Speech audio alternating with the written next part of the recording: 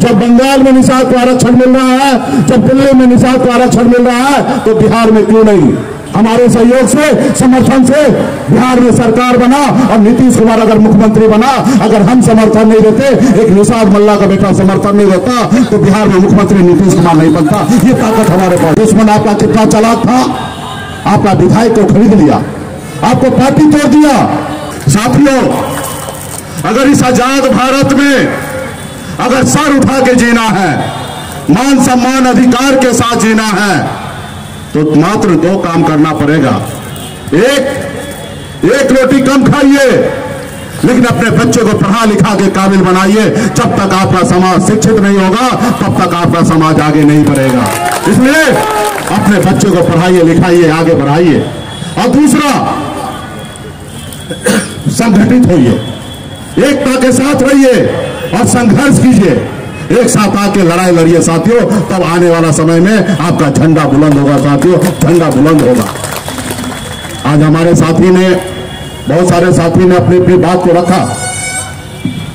आज मैं बिहार में आया। तो पूरे बिहार के निषाद समाज ने खड़ा होकर कहा किशन अब्दुल्ला आप आगे बढ़ो, हम आपके साथ हैं। आज आपके बीच में हम लोग बैठे हैं। आज हम राज्य सरकार से मांग करते हैं केंद्र सरकार से मांग करते हैं लेकिन अगर आपका अधिकार है तो आपको छीनना पड़ेगा। मांगने से किसी को दया आ जाए तो आपको आशीर्वाद दे सकता है या भीख दे सकता है। आपका अधिकार नहीं देगा साथियों आपको अपना अधिकार नहीं देगा। अगर आपका अधिकार है तो लड़ना पड़ेगा और छीनना पड़ेगा। आज़ादी का अठहत्तर साल हो चुका है। आज अठहत्तर सालों में पाँच साल से मैं आया हूँ पॉलिटिकल पार्टी बनाकर। लेकिन इससे पहले लोगों ने अपने लिए जिया, अपने परिवार के लिए जिया। लेकिन जब पाँच सालों से हम आपके बीच में आए, आपने कहा सन्नापल्ला आप आगे बढ़ो, हम आपके साथ हैं। तो हमने बिहार में परिवर्तन लाया। कल तक निषाद का बेटा टिकट माँगता था। आज बिहार में टिकट हम मांगते नहीं है, टिकट बांटते हैं। ये पहचान हमारे पास है, साथियों, ये पहचान है। बिहार में लोगों को लगता था कि मल्ला का मतलब सिर्फ़ मछली मारना होता है। लेकिन बिहार में आके आपने बताया कि मल्ला का मतलब सिर्फ़ मछली मारना नहीं होता, विधायक भी बनाना होता है और नेतृत्व भी करना होता है। ये मैंने आके सिखाया। आपने देखा 2019 में हमने निषाद का बेटा को मुजफ्फरपुर से चुनाव लड़ाया। हार जीत जो भी हो, लेकिन पहले दिन क्लियर हो गया कि कोई भी जीतेगा निषाद का बेटा भी मुजफ्फरपुर का सांसद बनेगा। क्योंकि एनडीए की तरफ़ से भी और यूपीए की तरफ़ से भी निषाद का बेटा ही चुनाव लड़ रहा था। इसलिए साथियों, आने वाला समय में बड़ी लड़ाई है। हमारी मुख्य लड़ाई जो है कि जब देश एक है संविधान एक है, देश के प्रधानमंत्री एक है। तो फिर हमारे साथ भेदभाव क्यों? जब बंगाल में निषाद को आरक्षण मिल रहा है, जब दिल्ली में निषाद को आरक्षण मिल रहा है तो बिहार में क्यों नहीं? जब हमें एससी का आरक्षण मिल रहा है तो बिहार में क्यों नहीं? और इसके लिए आप सबको पता होगा 25 जुलाई से लेकर लगातार पाँच महीना पूरे बिहार में, यूपी में, झारखंड में एक एक निषाद के गाँव में गए और सभी को हाथ में गंगा जल लेकर संकल्प ले लिया है कि आने वाले समय में हम अपने बच्चे को भविष्य के लिए लड़ेंगे, ना ही कि किसी पार्टी और पॉलिटिक्स से पीछे जाएँगे। आज बिहार में बहुत तक शक्ति के साथ आज हम लोग हैं। आपने देखा? देखा ना 2020 में पहली बार लड़ाई लड़कर चार विधायक हमने बनाया। खुद अपने दम पर मंत्री बना। किसी की मेहरबानी से नहीं बना था। हमारे सहयोग से, समर्थन से बिहार में सरकार बना और नीतीश कुमार अगर मुख्यमंत्री बना, अगर हम समर्थन नहीं देते, एक निषाद मल्ला का बेटा समर्थन नहीं देता तो बिहार में मुख्यमंत्री नीतीश कुमार नहीं बनता। ये ताकत हमारे पास था। लेकिन आपने देखा, दुश्मन आपका कितना चालाक था। आपका विधायक को खरीद लिया। आपको पार्टी तोड़ दिया। आज अगर आपके पास चार विधायक होता आज बिहार सरकार में देखते होंगे टीवी मीडिया में कितना हंगामा हो रहा है। चारे विधायक का माझी जी को सीएम का ऑफ़र मिल रहा है। आज हम किसी सीएम को कहेंगे ये करने के लिए ये करने के लिए? अरे क्या निशान के बेटा उस जगह नहीं पहुँच सकता है? उस जगह पहुँच सकता है। हमें अभी गिरगिराना नहीं है किसी से। किसी के सामने हाथ को फैलाना नहीं है। किसी से भीख नहीं मांगना है। हमारे शरीर में खून को है। हमारे शहीद जुब्बा सैनी का एक लब का वंशज हमें है। हमारे शरीर में वही खून है और हम लड़ाई लड़ेंगे। और बिहार में परिवर्तन लाएँगे। आज हम लड़ाई लड़े। पिछले पाँच सात सालों में आपके सहयोग से चार विधायक बनाया। आने वाले समय में चालीस बनाएँगे। एक समय आएगा 125 बना के निसार का बेटा बिहार का मुख्यमंत्री बनेगा और अपने हाथों से काम करेगा, साथियों। आज सतहत्तर सालों में उन लोगों ने आपको आरक्षण नहीं दिया निसार को एक नहीं कर पाया। अब क्या आप आपको उम्मीद है तो आपको आरक्षण देगा, नहीं देगा? क्या आपको एकीकरण करेगा, नहीं करेगा? क्योंकि जिससे उनको फ़ायदा है वो अपना फ़ायदा करेगा जिससे आपका नुकसान है। वो आपको नुकसान आपको करने का हमेशा काम करेगा। ये निर्णय आपको लेना है कि कैसी लड़ाई लड़ना है। इसलिए साथियों 2024 का चुनाव है। और हमारे सभी साथी, वीरेंद्र जी रंजीत जी, सभी पार्टी के नेता का कहना है कि स्थानीय नेता को मौका मिले तो आपका भाई ज़िंदा रहेगा, तब तो न मौका देगा। आपको तो भाई के साथ रहना पड़ेगा।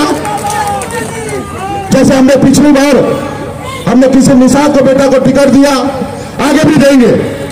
लेकिन आपको दल के साथ मजबूती से खड़ा होना पड़ेगा। आपको पूरे बिहार में बताना पड़ेगा कि हम सिर्फ़ वीआईपी पार्टी है हम सिर्फ़ निशा समाज है जो हमारी सुनेगा हम उसकी सुनेंगे जो हमारी नहीं सुनेगा हम उसकी नहीं सुनेंगे। ठीक है। इसके लिए साथियों मेहनत करना पड़ेगा संघर्ष करना पड़ेगा एक साथ रहना पड़ेगा। तो इसलिए साथियों, आने वाला समय में बहुत बड़ी लड़ाई है। और आप लोगों ने काम किए, कर रहे हैं। आप सभी को बहुत बहुत धन्यवाद। किसी एक व्यक्ति का लड़ाई नहीं है। हम सभी का लड़ाई है। कोई ये ना सोचे कि हमारे एक अकेला आदमी से पूरा बिहार का कल्याण होगा। ये भ्रम में किसी को नहीं रहना है। हर व्यक्ति को एक दूसरे को साथ देना पड़ेगा। तब जाके आपका समाज आगे बढ़ेगा। तब जाके ये होगा। नीतीश जी यही नीतीश जी नहीं हो गए, संघर्ष किए। आज मुझे देखिए, मैं गरीब घर में जन्म लिया। जहाँ हज़ारों समस्या था, वहीं मेरा जन्म हुआ। पिताजी मछली मारते थे, दादाजी मछली मारते थे। जहाँ चार रोज मछली ना मारा जाए तो पाँचवें रोज घर पे खाना नहीं बनता। ऐसे परिवार में मेरा जन्म हुआ। लेकिन मैंने लड़ाई लड़ा गरीबी से। संघर्ष किया। 18 साल की उम्र में घर परिवार को बच्चे को छोड़कर बम्बई जैसे शहर चला गया। नौ सौ रुपया महीने पे मजदूरी करता था। तीस रुपया रोज पे काम करता था। लेकिन आप लोगों के आशीर्वाद से बम्बई जैसे शहर में जाके हमने झंडा गाड़ दिया। आज मैं बिहार आया। आपके हक अधिकार के लिए लड़ाई लड़ रहा हूँ।